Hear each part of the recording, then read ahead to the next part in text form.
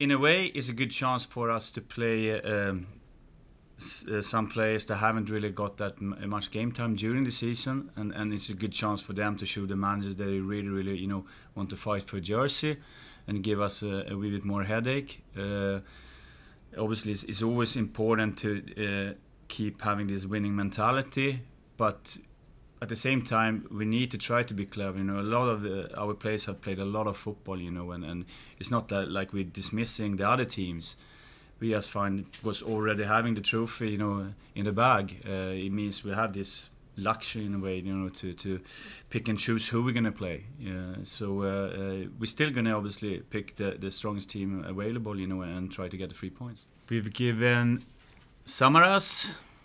I try to remember here. Mulgrew, definitely, yeah. Charlie needs a long break. He's been playing a lot of football. Uh, we've got uh, I'm trying to think. Uh, Fraser, Emilio, uh, they're still back in now training though, them two, uh, and Gary Hooper. Uh, unfortunately, Scott, yeah, uh, you got uh, James Forrest and Adam Matthews still not really 100% fit. back in training though, so. Um, Possibility or definitely out? I would say definitely out for the weekend. I'd probably say the three that's got the biggest chance to, to be included in the squad is uh, Bahrudin Atajic, Paul George and Callum McGregor.